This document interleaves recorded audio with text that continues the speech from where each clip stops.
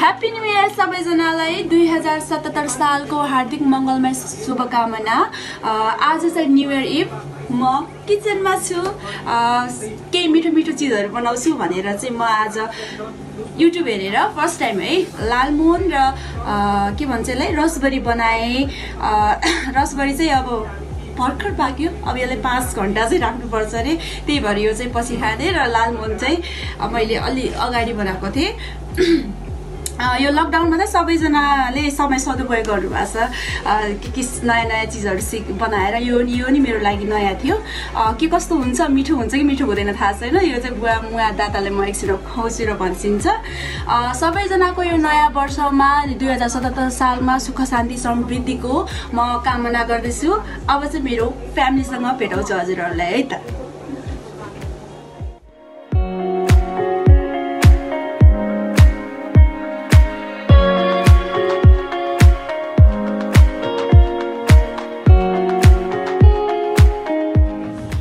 खोइ त भोक लाग्यो हौ। कहाँ छ रसभरि लालमोहन खोइ। आउँदै होला टाढो छ कि।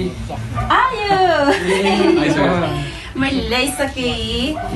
लाग्छ अघि बनाएको नि त। त्यो रसबरी चाहिँ अलिक पछि खाने त्यो चार पाँच घन्टा यो छोरी।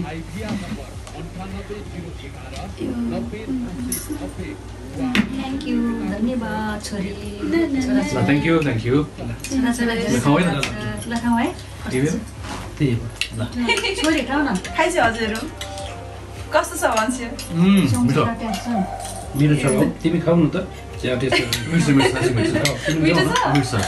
टाइम बनाएको आज एकदमै राम्रो टेस्ट थाहा हुन्छ नि त खाऊ राम्रो छ मिठो हो मिठो लाग्यो है एकदम मिठो लाग्यो है बहिनीले बनाएको टेस्टी मिठो छ आफूले बनाउने मिठो लाग्यो छोरा छोरा आज न्यु इयर इभमा मैले आज यो बनाएको मिठो भयो मिठो ल सबैजनालाई ह्याप्पी न्यु इयर हाम्रो फ्यामिलीको तर्फबाट। मेरो दादाले के भनिदिन्छ अब? नयाँ वर्षको शुभकामना सबैलाई।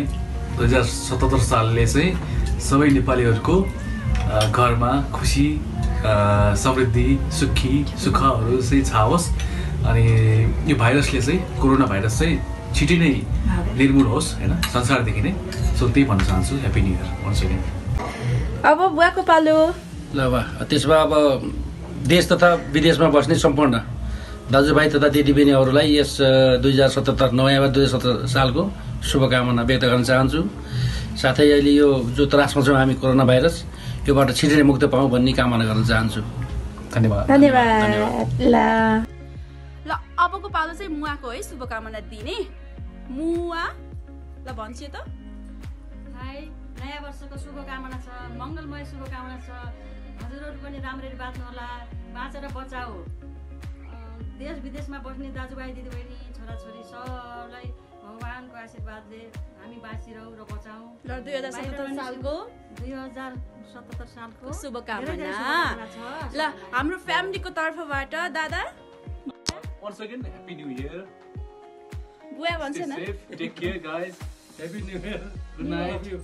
Good night okay ल हाम्रो सब हाम्रो परिवारबाट Good night. Bye bye Happy good New Year. Night happy new year okay